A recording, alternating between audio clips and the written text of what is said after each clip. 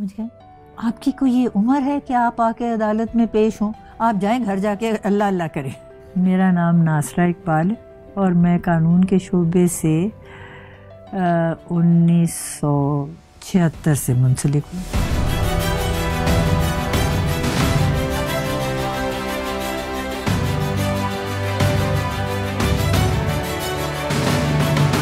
एक दिन एक आ गया शख्स माँ बाप ने केस किया होता कि जी हमारी बेटी को अगवा करके ये ले गया मैंने दोनों को बुला लिया। अच्छा वो आ गया शोहर भी आ, वो आदमी भी आ गया जिसका अगवा का इल्ज़ाम था और वो औरत भी आ गई। तो मैंने कहा ये आप बताइए कि आपने इनकी बेटी को कैसे अगवा किया? कोई आपके घर में मुलाजमा थी या क्या मसला था या कहाँ से? उसने कहा कि जज साहबा अगर आप सच बात पूछना चाहें तो मैं तो रहने वाला हूँ देहात का। लेकिन कभी कभी ऐसे ही ज़रा मुँह का मज़ा बदलने के लिए मैं आ जाता था यहाँ, जो इलाका है, जिसको कहते हैं पानी वाला तालाब वहाँ। तो मैं एक दिन आया तो ये खातून वहाँ पे थी। तो जब मैं इनके पास गया तो ये रोना शुरू हो गई और बड़ी अफसरदा थी। तो मैंने कहा, क्या बात कहने लगी, मैं आपको क्या बताऊँ कि मेरे माँ बाप मुझे नहीं छोड़ गए तो ये धंधा करने के लिए कौन अपनी खुशी से करता है? कोई औरत, मजबूरी होती है औरत जो होती तो अब मैं क्या करूँ? मुझे यहाँ छोड़ देंगे तो मैं इसलिए यहाँ मजबूर हूँ। लेकिन मुझे सारे काम से बड़ी बेसकूनी सी होती है और परेशानी होती है। कि ये गुनाह ही। है तो कहने लगा जी, मैं इतना मुतासर हुआ कि मैं उसको घर ले गया साथ और मेरी शादी हुई हुई थी, मेरी बीवी थी। मैंने बीवी से इजाज़त मांगी। मैंने कहा, देखिए, इसके साथ इतना जुल्म और कर रहे हैं इसके माँ बाप तो मुझे इजाज़त दो कि मैं इससे दे दी इजाज़त मैंने, इससे शादी की हुई है। और इसने अपनी मर्ज़ी से की। मैंने कोई ज़बरदस्ती नहीं की। तो मैंने उसको भी पूछा, उसने कहा, जी ये जो कुछ इन्होंने बयान किया, ये बात दुरुस्त तो फिर वो माँ बाप तो मौजूद मैं अब उनको क्या कह सकती थी कि भाई तुम तुम्हें शर्म आनी चाहिए, तुम्हें तो जेल जाना चाहिए। मैंने उनको कहा कि जो भी आपने ये डाली है दरख्वास्त की तो आपने फारग हो गई है क्योंकि वो तो अपनी मर्ज़ी से गई हुई। और बालिग है, बीस साल से उसकी उम्र भी ज़्यादा है, ऐसे अठारह साल से ज़्यादा होती है तो बालिग होती है तो मैं इसमें बिल्कुल मुदाखलत नहीं करूँगी। ये अपने शोहर के साथ आइए शोहर के साथ आइए और जो कुछ आपने इसके लिए रास्ता बनाया हुआ था, उससे तो ये बेहतर है। तो फिर उसने कहा कि जज साहबा, मेरी एक बहन और भी है, जो वहाँ है अभी, उसको भी आप अच्छा मैंने पुलिस तो वहाँ होती है ना बाहर, मैंने उसी वक्त कहा कि फ़ोन करो उस इलाके के जो एस एच ओ है, कि उस लड़की को बाजियाब कहने की छोटी जो बहन है, उनको, उसको इन्होंने फ़रोख्त कर दिया, वो कराची जा रही है। वो इस वक्त ट्रेन में है। तो मैंने कहा तुम्हारे को भाई, कि हाँ जी, एक भाई है, वो घर में है और नशा करता है, और ये मेरे माँ बाप जो हैं, ये कुछ नहीं करते। और ये तीनों वहाँ पे। तो ये मैंने कहा, जहाँ तक है, आप तलाश करें, अगर वो लड़की है तो उसको बाजियाब करके वापस लाइए और जो वहाँ थी एस एच ओ को मैंने फ़ोन किया रंग महल या जो भी वो इलाका है, कि उसको इन्होंने जो पता बताया, फ़लाने मोहल्ले में, फ़लाने मकान में। अब ये बीच में इनकी सब अंदरून खाना होती है, मिली भगत। ये जो कुछ काम होता है वहाँ, अगर मिली भगत ना हो तो हो ही नहीं सकता। अब इनको पता लग गया वायरलेस ही होती है, सबके पास इन्होंने वहाँ इतला दे कि जी वहाँ तो छापा डलने लगा। वहाँ से एस एच ओ और जो भी वहाँ की पुलिस थी उस थाने की, उन्होंने रिपोर्ट भेजी कि जी जिस मकान या जिस महल्ले और जिस बिल्डिंग का हवाला है, वहाँ तो है ही कोई, वहाँ तो कुफर लगे हुए इन्होंने उन सबको भगा ही दिया बस ताकि कुछ पता नहीं।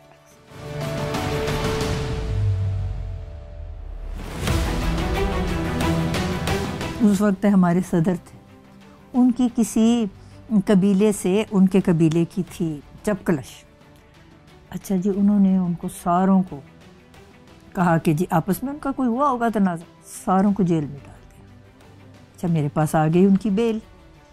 बेल होती है कि उनको जेल से छोड़ना मैंने देखा कोई केस नहीं बना हुआ है, इस तरह सारा इन्होंने बात बनाई हुई है, इस तरह इतने सैकड़ों लोगों को जेल में डाल दिया मैंने। रिहा कर दिया। अगले दिन दूसरे का आया तीसरे का आया चौथे का मैं हर एक को बेल देती रही। अब ये तो बहुत नाराज़ हो गए और थे भी आ, उस वक़्त के सदर के ये क्या है कैसे इनके चुंगल से निकले और ये हमारा एक कानून का हिस्सा है कि अगर एक दफ़ा एक बेल किसी जज के सामने हाई कोर्ट में रही तो फिर उस बेल में अगर मैं रिजेक्ट कर दूँ तो दूसरे के पास वो जा ही नहीं सकती वो मेरे पास ही आएगी।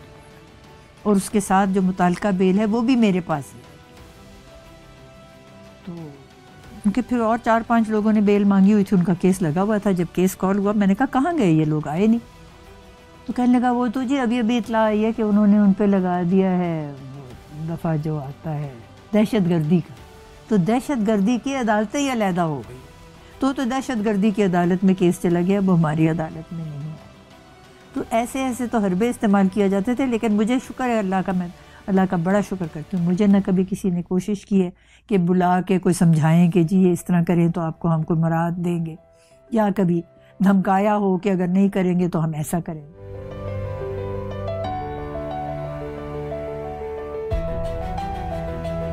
बेनज़ीर भुट्टो बनी वज़ी अजम वो कुछ उनके पास अक्सरियत ऐसी नहीं थी कि बहुत सारी कानून साजी कर सकती उन्होंने सोचा, मैं और तो कुछ करूँ ना करूँ ख़वान को बस सब शोबों में जहाँ भी कहीं आ सकती है, उनको लाने की कोशिश करूँ। तो उन्होंने कहा कि मैं तमाम अदालतों में जजेस लगाऊँगी ख़वान अच्छा अब बलूचिस्तान में इस वक्त तक, ज़रा क्योंकि पसमानदा इलाका था, कोई ऐसी खातून वकील थी ही नहीं जो जज बन सकती थी। पिशावर से बनी एक बहुत, जो थी, खालदा राशिद। फिर थी सिंध में माजिदा रिजवी बनी। लाहौर में ये था कि कोई ख़ास ऐसी थी नहीं। तो तीन जजेस इन्होंने लाहौर से बनाई, क्योंकि सबसे बड़ा इदारा और अदालत हमारी ही है। एक तो आई मुल्तान से फ़खरुलनसा खोखर। फिर दूसरी जो बनाई वो थी तलत याकूब, जब बीस जजेस इन्होंने इकट्ठी बनाई तो बहुत सारे मतलब ख़वातीन भी और मर्द भी। तो उनमें से ऐसे भी थे जिनका कोई जज बनने का इस्तेकाक नहीं था। तो फिर उन्होंने यहाँ एक केस हुआ लाहौर हाई कोर्ट में। तो उस केस में ये हुआ कि यहाँ के जो जज साहब थे, डिवीज़न बेंच थी, दो जजेस की, उन्होंने कहा कि इसमें कोई अमर माने नहीं है, ये सब ठीक है, कोई हमें इसमें गलती नहीं। केस डिसमिस हो गया। फिर गए ये सुप्रीम कोर्ट। सुप्रीम कोर्ट में उन ज़मानों में इनके इख्तलाफात चल रहे थे। इन्होंने बना दिया हुआ था जिनको चीफ जस्टिस वो आउट ऑफ़ टर्न बनाया था। इसलिए कि वो कहती थी कि जो मैं कहूँ उसी तरीके का फ़ैसला होना चाहिए। हालाँकि ऐसी बात जो है ये दुरुस्त नहीं। उनका ताल्लुक तो इंतज़ामिया का था। और दूसरा ये जो अदलिया है इसमें तो किसी को मुदाखलत करने का इख्तियार होना ही नहीं चाहिए। बाहर क्या काफ़ी उसमें उनके जो थे इस वजह से उनकी तरजीहत थी कि ऐसा शख्स बने जो मेरी पार्टी से ताल्लुक़ रखता हो और वही करे जो मैं कहूँ। तो उस वक़्त हमारे साथ जान साहब थे जिन्होंने बनना था चीफ जस्टिस। तो जब चीफ जस्टिस की ओथ टेकिंग की तकरीब का वक्त हुआ तो वो तैयार होकर जाने लगे। तो उनको फ़ोन आ गया रजिस्ट्रार का कि जी आपकी हल्फ बर्दारी नहीं हो रही। हल्फ बर्दारी तो आ, उनके दूसरे शाह साहब देख एक मैं उनका नाम क्या लूँ? उनकी हो रही है। और वो आउट ऑफ़ टर्न मतलब कुछ छः जजों से ऊपर आके उनको बना दिया चीफ जस्टिस। और उसकी वजह ये थी कि उनसे पहले ये इन्होंने समझौता कर लिया कि जो ख़ास तौर पे होंगे हुकूमत के ख़िलाफ़ केस इंतज़ामिया या मुकन्ना के आपने वही फ़ैसला देना है जो हम कहेंगे। तो वो इस तरीके से बन गए। बाद में उनके अख्तिलाफ़ात हो गए किसी बात पे। इख्तिलाफ़ात इस बात पे हुए कि इनका कोई करीबी दोस्त था इनके शोहर का। वो भी आउट ऑफ़ टर्न उन्होंने उसको जज बना दिया। उसके ख़िलाफ़ बहुत शिकायत आई। इन्होंने उसको बरतरफ कर दिया। चीफ जस्टिस ने। तो इनका ख्याल था कि ये अब हमारे रास्ते पे नहीं चल रहे। तो ये केस जिस वक्त सुप्रीम कोर्ट में गया तो इनके अख्तिलाफ़ात तो थे ही। इन्होंने वो जो 20 जज मुकर हुए थे, उनमें से बहुत सारों को बरतरफ कर दिया। और मेरे ख़िलाफ़ तो ये बात थी कि मैंने तो इतने साल प्रैक्टिस ही नहीं थी की हुई। मेरा प्रैक्टिस का जो दौरानिया था, वो थोड़ा था। तो दस साल उन्होंने कहा कि जी, कम से कम होना चाहिए। तो मेरे तो मेरा ख्याल है उस छः सात साल बनते थे या कुछ ऐसे था कि नाइन्टी फोर में हुए थे ना।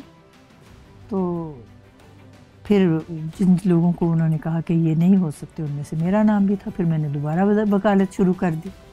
फिर मैंने कोई किया उतने साल वकालत। तो फिर दोबारा से, और हालाँकि चीफ जस्टिस की ये थी सवाब दीदी इख्तियार कि वो किसको रखें, किसको ना रखें उस लिस्ट में से। उन्होंने कहा कि इनकी क्योंकि म्याद पूरी नहीं हुई, इसलिए मैं मजबूर हूँ कि मैं इनसे, इनको फरावत दे दूँ, लेकिन जिस वक्त ये हों इनकी अहलियत पूरी हो जाए तो इनको जज बना देना चाहिए क्योंकि इनके फ़ैसले बहुत अच्छे हुए। तो वो जिस वक्त वक्त आया तो कोई और थे चीफ जस्टिस, उन्होंने दोबारा से मुझे बना दिया। लाहौर हाई कोर्ट का जज। पहली बारी जिस वक्त बनी हूँ, मुझे तो इलम ही नहीं था। जो कुछ वहाँ इनके इख्तलाफात थे, मुझे इसके बारे में कतन नहीं पता था। हम तो रात को खाना खाते थे, यही को साढ़े आठ, नौ बजे। तो नौ बजे की खबरों में अनाउंस हो गया। मैं तो हैरान ही हो गई कि मुझे पता लगा कि मेरा, मैं नामजद हो गई हूँ जज पे। मुझे तो बिल्कुल ये पता नहीं था।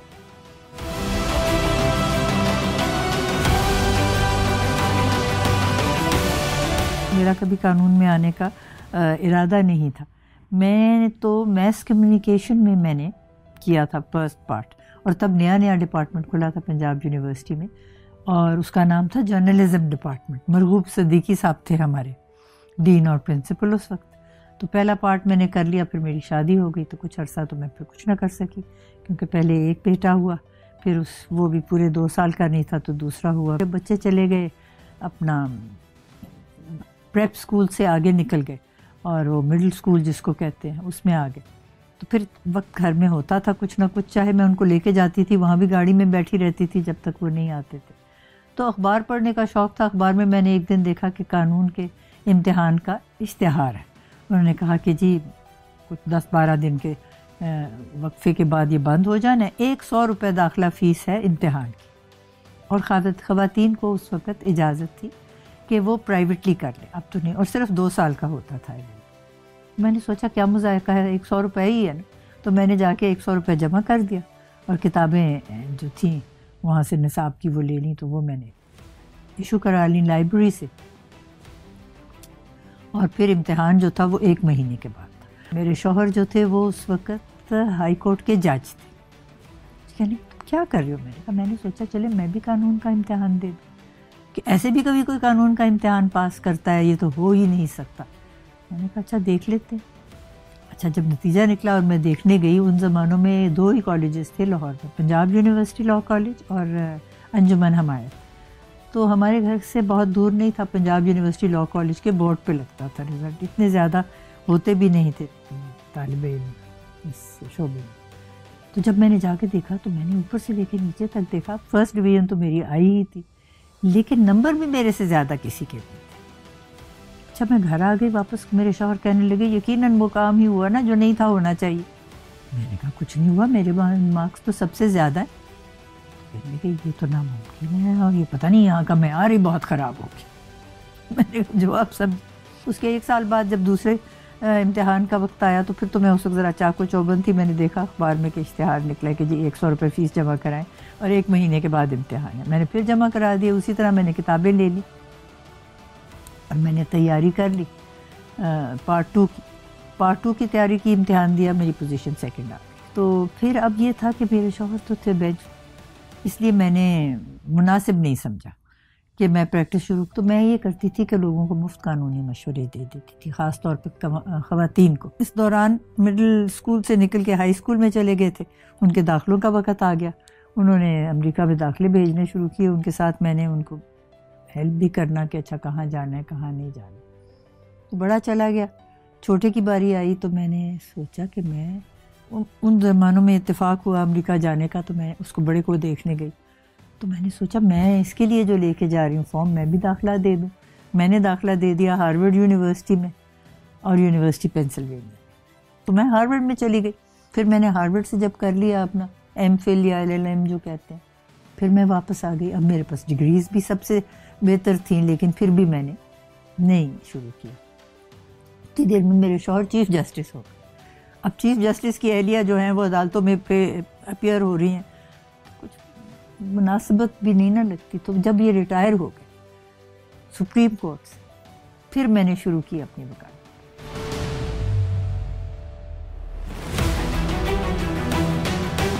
वकालत जब मैंने शुरू की तो बहुत लेट शुरू की।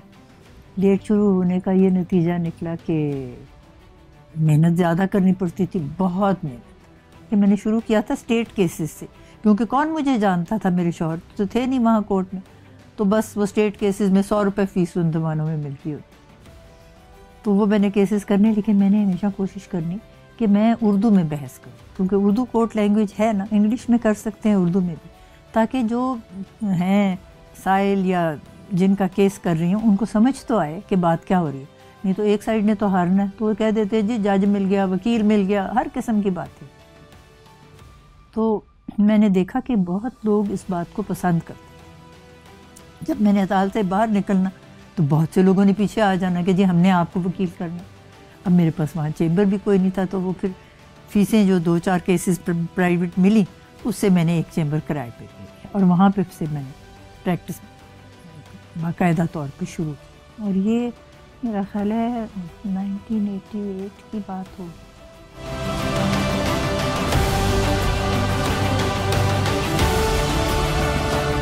जो मर्द वकला थे वो इस बात को कुछ पसंद नहीं करते थे। इसलिए कि वो, वो, समझते थे कि ये आती हैं और ये केस जीत भी जाती हैं। मुझे आपकी कोई ये उम्र है कि आप आके अदालत में पेश हों? आप जाएँ घर जाके अल्लाह अल्लाह करें। मैं मुझे बड़ी उस पर हँसी आए। मैंने कहा देखिए मैं आपको कुछ कहती हूँ। आपको भी मैं कह सकती हूँ ऐसी ही या बात कोई और बात कह सकती हूँ। कि आपको तो बहस ही नहीं करनी आती आप जाएँ घर जाके बैठे। ये कोई बात नहीं है कि आप किसी को टोकें। मेरा जो जी में आए, मैं करूँ, आपका जो जी में आए, आप करें। तो मेरी बहुत सारी शागिर्द आती थी और वो फैमिली कोर्ट्स में लगती थी क्योंकि वहाँ बहुत ख़वातीन को मौका होता और वो थोड़ी देर के बाद छोड़ के चली जाती थी। क्योंकि जो मर्द वकला थे, जब उनके आगे पेश होते थे ना तो बहुत, बदतमीज़ी से पेश आते थे और कुछ इज़्ज़त नहीं थे करते। तो कोई किसी ने जाके तो टीचिंग शुरू कर दी, कोई किसी जगह डीन बन गई, इस तरीके से। वकालत में बहुत कम खवातीन जो थी, वो रहती थी। मुझे पूछती होती थी मेरी दोस्तें कि आप वहाँ अदालत में खड़ी होकर वहाँ कोई और औरत नहीं होती, आप बहस करती हैं, आपको बुरा नहीं लगता या आपको इससे कोई घबराहट नहीं होती? मैंने कहा, मुझे तो इस बात का कभी वहाँ ख्याल ही नहीं आया कि मैं औरत हूँ या मर्द। मैंने तो ये देखना है कि जो केस है मेरे सामने, उसमें मैं किस किस्म के दलाइल पेश कर सकती हो? और अगर मोहम्मद दलाइल के लिए मैंने तैयारी की हुई है तो मैं केस जीतूँगी, चाहे मैं औरत हूँ या मर्द, इसका इसके साथ कोई ताल्लुक ही नहीं।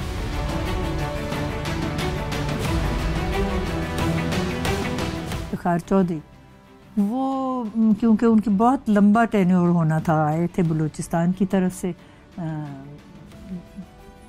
जस्टिस बन के सुप्रीम कोर्ट के, हालाँकि वो थे पंजाबी, लेकिन रिहाइश उनकी मुस्तकिल वहाँ थी। बलूचिस्तान में तो वहाँ से बन गए, उनका बड़ा लंबा दौर था। तो इसलिए वो ऐसे भी फैसले देते थे जो इनके नहीं, पसंद पसंदीदगी आती थी। तो उनको एक दिन इन्होंने बुलाया मुशरफ ने। सोचा कुछ कानूनी मामले को मशवरा करने के लिए बुलाया हुआ जो चले गए। अच्छा वहाँ उनको इन्होंने कहा कि जी हमने बरतरफ कर। तो आप इस्तीफ़ा दे दें, हम आपको कहीं भेज देंगे एम्बेसडर बन के सऊदी अरेबिया में या फला जगह। मैंने कहा, आप जो मर्ज़ी करें, आपको ये इख्तियार ही नहीं कि आप चीफ जस्टिस को निकालें, क्योंकि हमारा जो है आइन वो ये कहता है कि ये तीन शोबे मुकन्ना और इंतज़ामिया और अदलिया ये एक दूसरे के मामले में मुदाखलत नहीं कर सकते। अच्छा अब ये जो कुछ हुआ, ये टीवी पे आ गया। उस दिन शाम को किसी वकला की शादी थी किसी उनके बच्चे की। तो वहाँ मैं गई। तो ये सारे जो थे हमारे बार के लीडर्स इनसे मुलाकात हुई। मैंने कहा, ये तो हम बर्दाश्त नहीं करेंगे, जो इन्होंने किया और उनका भी अक्सरियत का ख्याल कुछ ऐसा ही था कि हद हो गई। जब तक आप उनकी मर्ज़ी के फैसले दो तो वो राज़ी है। और ना उनकी मर्ज़ी के ऊपर चलो तो वो नाराज़ है। तो फिर ये वहाँ पे मुहिम चल गई। उसी दिन शाम से ये हमने सबने फैसला कर लिया कि हमने ज़रूर इसके ख़िलाफ़ तहरीक चलानी। तो अगले दिन जब बार में हुए तो रेजोल्यूशन बार ने पास कर दी कि हमें ये मंजूर नहीं। तो तहरीक शुरू हो गई। सड़कों पे हमने निकलना, लेकिन सड़कों पे निकलना जब अदालती टाइम नहीं था।